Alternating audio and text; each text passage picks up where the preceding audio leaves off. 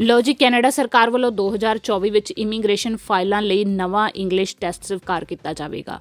ਜੇ ਤੁਸੀਂ ਜਾਂ ਤੁਹਾਡੇ ਕੋਈ ਰਿਸ਼ਤੇਦਾਰ ਜਾਂ ਦੋਸਤ ਮਿੱਤਰ ਨੇ ਕੈਨੇਡਾ ਆਉਣਾ ਜਾਂ ਫਿਰ ਆਉਣ ਲਈ ਫਾਈਲ ਲਗਾਉਣੀ ਹੈ, ਤਾਂ ਇਹ ਵੀਡੀਓ ਤੁਹਾਡੇ ਲਈ ਬਹੁਤ ਜ਼ਰੂਰੀ ਹੈ।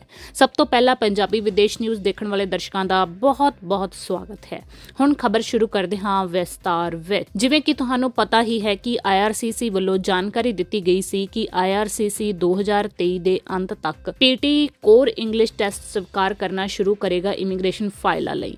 ਤੇ ਹੁਣ IRCC ਵੱਲੋਂ ਜਾਣਕਾਰੀ ਦਿੱਤੀ ਗਈ ਹੈ ਕਿ PT ਕੋਰ ਟੈਸਟ ਅਸੈਪਟੈਂਸ 2023 ਦੇ ਅੰਤ ਦੀ ਬਜਾਏ ਹੁਣ 2024 ਦੇ ਸ਼ੁਰੂਆਤੀ ਦਿਨਾਂ ਵਿੱਚ ਸਵੀਕਾਰ ਕਰਨਾ ਸ਼ੁਰੂ ਕੀਤਾ ਜਾਵੇਗਾ। ਤੁਹਾਨੂੰ ਦੱਸ ਦਈਏ ਕਿ ਪੀਟੀ ਕੋਡ ਟੈਸਟ ਸਿਰਫ ਇਕਨੋਮਿਕ ਇਮੀਗ੍ਰੇਸ਼ਨ ਪ੍ਰੋਗਰਾਮ ਰਾਹੀਂ ਪੀਆਰ ਲੈਣ ਲਈ ਸਵੀਕਾਰ ਕੀਤਾ ਜਾਵੇਗਾ, ਜਦਕਿ ਪੀਟੀ ਜਿਹੜਾ ਅਕੈਡਮਿਕ ਟੈਸਟ ਆ, ਉਹ ਸਟੱਡੀ ਪਰਮਿਟ ਜਾਂ ਵੀਜ਼ਾ ਲੈਣ ਲਈ ਅਸੈਪਟ ਕੀਤਾ ਜਾ ਰਿਹਾ ਹੈ।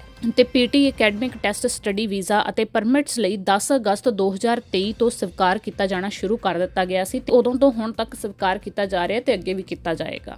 ਸਿਰਫ ਜਿਹੜਾ ਪੀਟੀ ਕੋਡ ਟੈਸਟ ਆ, ਉਹ 2024 ਤੋਂ ਸ਼ੁਰੂ ਹੋਊਗਾ ਪੀਆਰ ਲੈਣ ਲਈ। ਜੇ ਤੁਸੀਂ ਕੈਨੇਡਾ ਇਮੀਗ੍ਰੇਸ਼ਨ ਸੰਬੰਧੀ ਹੋਰ ਖਬਰਾਂ ਪੜ੍ਹਨਾ ਚਾਹੁੰਦੇ ਹੋ, ਤਾਂ ਤੁਸੀਂ punjabividesh.news.com ਤੇ ਜਾ ਕੇ ਜਾਣਕਾਰੀ ਚੈੱਕ ਕਰ ਸਕਦੇ ਹੋ। ਅੱਜ ਦੇ ਬੁਲੇਟਿਨ ਵਿੱਚ ਇੰਨਾ ਹੀ। ਜਲਦ ਮਿਲਦੇ ਹਾਂ ਕੈਨੇਡਾ ਇਮੀਗ੍ਰੇਸ਼ਨ ਸੰਬੰਧੀ ਤਾਜ਼ਾ ਅਪਡੇਟਸ ਲੈ ਕੇ। ਸਤਿ ਸ਼੍ਰੀ ਅਕਾਲ।